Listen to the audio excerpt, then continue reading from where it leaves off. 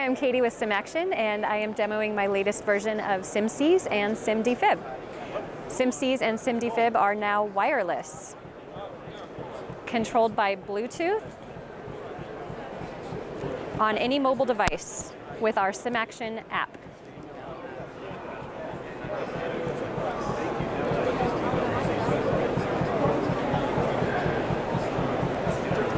SimSeize has adjustable speeds so that you can create whatever type of seizure you'd like in your scenario.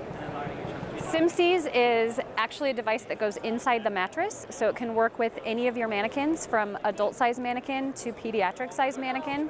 It can work with a high fidelity mannequin to a low fidelity mannequin. Any mannequin that you choose to place on the mattress where SimSeize is installed will work for your scenario.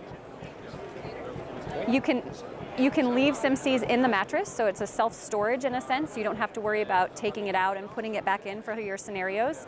It's very robust. You're not going to hurt it. You can run other scenarios on the same mattress without any problems.